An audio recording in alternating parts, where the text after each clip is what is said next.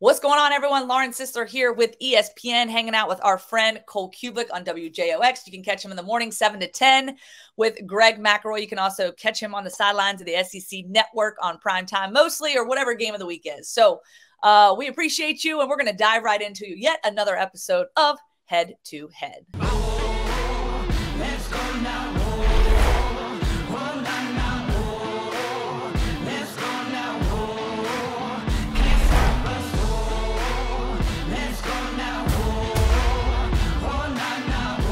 Auburn, what a win for them defeating Texas A&M 13 to 10. Cadillac Williams first win as the interim head coach.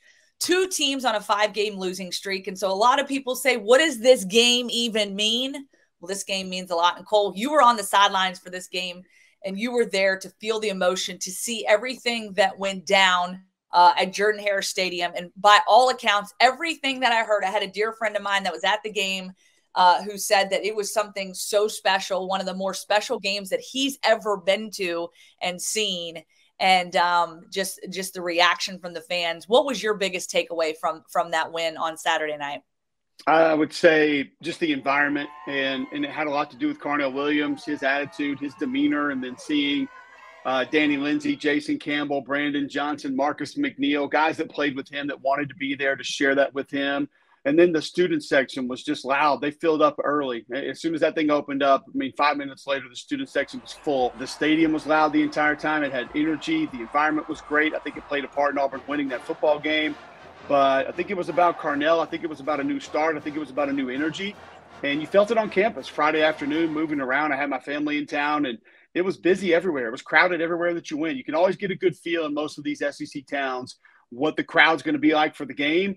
Friday afternoon, Friday evening, especially early in the day Friday, and it was it was packed, it was jammed, and you knew it was going to be good. So, uh, and I actually wanted to walk to the game and just check out some of the tailgating. I had not been able to go to an Auburn game since the opener in 2020, and it, it, you knew right away walking through campus that the fans were ready. They were going to show up. They were going to show out. They did.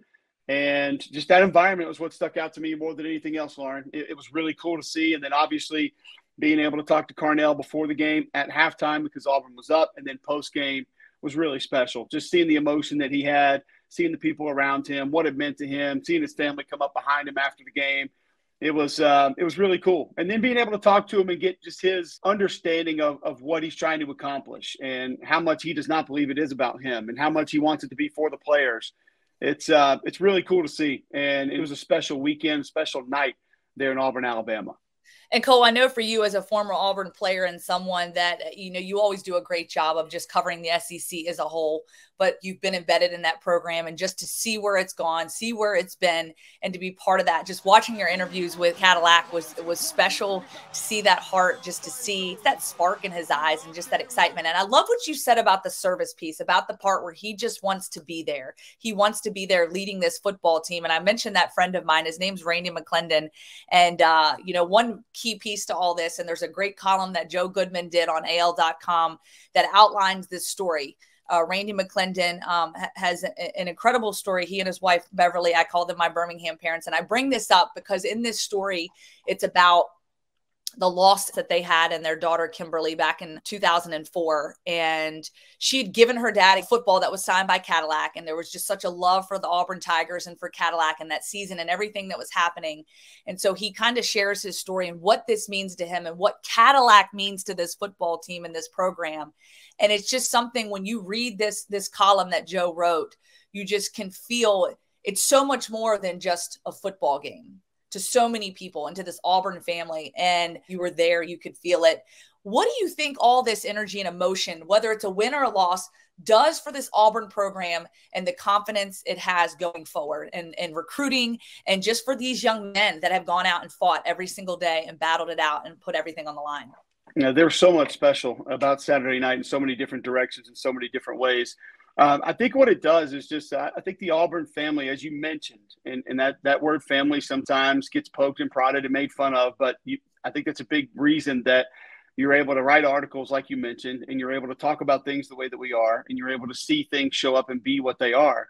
Uh, the amount of people that are not directly affiliated with Auburn that came up to me either walking to the game or around town Friday or at the game Saturday and reference the crowd that man, these are two teams that have lost five straight. Like these are two teams that aren't battling for a division title or a spot in the playoff. It's amazing that this is what it looks like, sounds like, and feels like. I think what it does is it shows you what the Auburn energy can derive, what it can bring up, what it can what it can make, and what what kind of environment it can create, what kind of what kind of people it can create and make, and the kind of people that it can help, and the different things that it can do. So I feel like that when when Carnell ran out as the head coach against Mississippi State, a lot of Auburn fans felt like that a, a corner had been turned and that there were only going to be positive things in the future, regardless of where that went or how that went. And I think that was a big part of what you saw Saturday night as well. They just they just got it at home instead of on the road Saturday night. So I don't want to say a new beginning because I think there still could be different beginnings uh, announced in the near future, but – I think a lot of people are very comfortable with Carnell leading things right now, and a lot of people will be very comfortable with him leading things down the road. There are multiple people that have said to me that they would love to see him get that opportunity. They have the confidence that he would be able to get that opportunity. Um, I don't think it's something that you can rule out just because of how special he has carried him in such a special manner. He's carried himself here over the last couple of weeks. All right, and so Auburn got a big matchup again back at uh, Jordan Hare Stadium. I say big matchup because let's let's be real. You can't look past Western Kentucky and this is a great game for them to get prepared for that Iron Bowl. So we're not going to look too far ahead in the future, but just some things that really stood out. And, and to me, obviously, you know, the run game, we saw some improvement there. Tank Bigsby, Jarquez Hunter went to town, were able to pick up some big yards in their rushing efforts. And the defense, to me, really stepped up and took a big step in the right direction, limiting the Aggies to 215 yards. Um, they just, to me, just a lot more disciplined football, a lot better tackling. And I think that's something we've really seen in these last two weeks. And so it was really cool to see that. Obviously, the defense allowing just three points there early in the game and then that lone touchdown towards the end of the game. Um, and, you know, a lot of guys stood out in that in that defensive performance. And, and I think that this is just, you know, an opportunity for them against this Western Kentucky football team to continue working on those things, maybe continue putting more points on the board, driving into the end zone, finding some ways to score points to get this offense going because we know they're going to need it against a much tougher Alabama opponent. What are you looking for in this matchup, and uh, what's your prediction? I think you still want to build offensively. And and Carnell told us last week, he said, listen, we're going to strip this thing down again. We want to find four, five, six, seven things we're really good at and that's what we're going to run. Now we'll change the presentation of it a little bit, which was something that I really thought uh, was fantastic, and Auburn made big strides in. I thought Ike Hilliard and Will Friend did a really nice job of developing a plan that it didn't have ten or fifteen new plays, but it had ten or fifteen new presentations of the same plays, and it made it more difficult to defend. You saw more misdirection. Uh, I think that's something that's going to continue to give Auburn an advantage. You saw more backs on the field at the same time. Uh, multiple tight end sets continued but you're going to have to find some balance at some point, Lauren, and get a little bit more of a passing game generated. The wind did work against the quarterback Saturday night. I thought it affected both Robby Ashford and Conner Weigman because uh, later in the game it really picked up and the temperature dropped pretty severely. And I think the wind was howling, and that was something that made a difference throwing the football. Uh, but you just got to find a way to keep defenses honest. They did that with some quarterback runs, more designed quarterback runs this past week. But Robby's, I don't, I mean, Robby's beat up. This is the end of the season. Most guys are. And so you've got to be careful with how many hits he took. I think that's why you saw Wildcat a little bit. And Auburn will probably run that some more this week. But just adding some things through the air that can force defenses to defend you a different way. Uh, if that can continue to be built, then this offense can continue to grow and maybe find ways to be better defensively. You know, you worry about the health a little bit. Jeffrey M'Ba left that game. You don't want him to be a guy that's dinged up because he's a big physical body inside that, defense needs. I thought Jeff Schmedding did a nice job of allowing the linebackers to attack against Texas A&M instead of sit back and read. Just kind of saying, forget it. Let's just go find the ball and get it and attack a gap and see what we can make happen and try to be disruptive. This is a different challenge this weekend. Uh, I don't think this is an opponent that you can just come out and try to work things against or try to get better with different plays. You're going to have to play really good football to beat this team. Austin Reed can throw it all over the place. They have a mm-hmm. high-powered offense. Uh, physically, they're a team. If you go watch the UAB game earlier in the season, a very physical team themselves. They went toe to toe with that team and even pushed them around a little bit late in the game. So both lines of scrimmage are going to have their hands full. This is a game that Auburn has to play well in.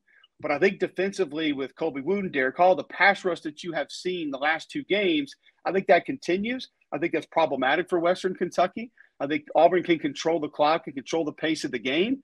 And I'm going to say 24 21. Auburn finds a way to get a win against Western Kentucky this weekend.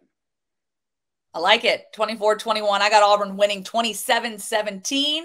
We'll see how things shake out. It's a midday kickoff, three o'clock. Looking forward to it. And uh, Cole, where are you going to be at this week? I'll be in Fayetteville, Arkansas Saturday night. Ole Miss travels to take on Arkansas.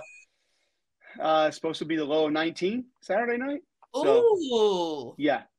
Hey, you got to get you one of those electric vests, those heated vests with the battery pack. I just ordered one. I'm so pumped to use it. Cannot wait because this is that time of year when it's cold. Brought to you by Alabama Beef Farmers and Ranchers.